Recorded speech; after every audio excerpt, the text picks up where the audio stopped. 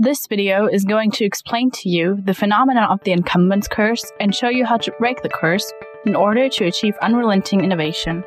The firms Intel, Nokia, and BlackBerry were innovation giants.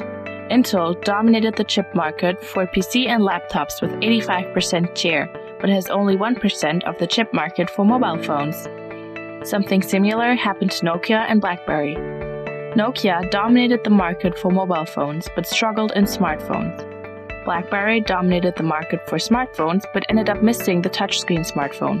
So, a pertinent question is why do large innovative firms fail?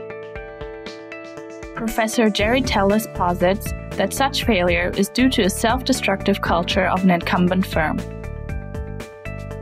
Such a culture focuses on the present, is risk averse, and clings to its past successful products. As a result, success sows the seeds of failure. In his book, Unrelenting Innovation How to Create a Culture for Market Dominance, he calls this phenomenon the incumbents curse. He explains this paradox and describes the culture for unrelenting innovation that firms need to stay competitive in today's global markets.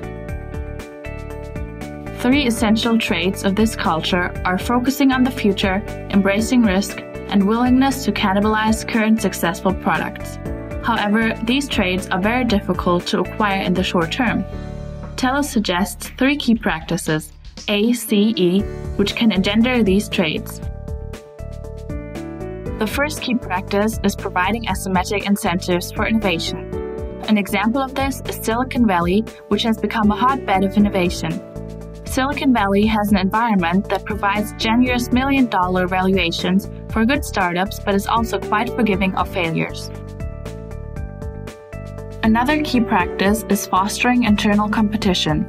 An example is Google that reconfigured as separate, potentially competing businesses, each tasked with radical innovations for various markets, under a holding company called Alphabet Inc. Empowering champions of innovation is the third key practice.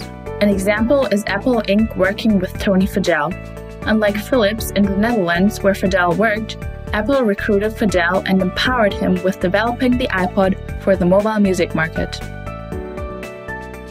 With these traits, any firm, large or small, can achieve and maintain market dominance with a culture for relentless innovation instead of self destructive complacency and lethargy, according to Tellis.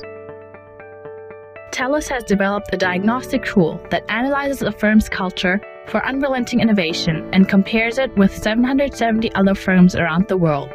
He provides precise changes in culture to help a firm turn around its internal culture and relaunch on the path to unrelenting innovation. To get an overall view, this model provides these practices and traits to overcome the incumbents curse for unrelenting innovation. Overall, the key practices ACE and certain culture traits lead to innovation and, more important, to unrelenting innovation without becoming the victim of the incumbents curse.